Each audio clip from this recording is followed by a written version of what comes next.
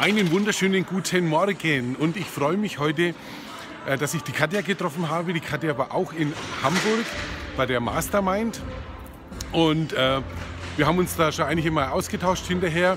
Und liebe Katja, konntest du was mitnehmen bei der Mastermind bei Kräuter von meinem Vortrag und was konntest du mitnehmen? Absolut. Also, der Albert ist die absolute Granate und Rakete in dem Thema, was er umgesetzt hat.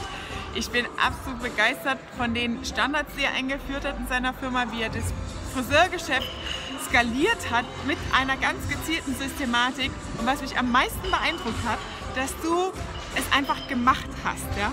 Also ich trainiere ja Leute und Unternehmen hm. dahin und muss ja. dann immer erklären und warum, wieso. Nein, das geht bei uns in der Branche nicht. Und dann kommst du als Friseur, hast das alles etabliert vom ersten Tag des Mitarbeiters, Azubi, Unternehmenskultur, Führungskultur. Mega. Ja. Vielen, vielen Dank. Das ist ein super Feedback. Und jetzt sag uns noch kurz, was treibst du genau? Was hast du für eine Kernkompetenz? Was ist deine Company? Und ähm, wer kann dich buchen? Äh, mich buchen können Unternehmer und Geschäftsleute, die genau solche Dinge, wie der Albert implementiert hat, vorhaben, auf größerer Ebene, auch mit mehr Mitarbeitern. Ich komme aus der Konzernwelt und strukturiere Unternehmen zu mehr Performance und Profit.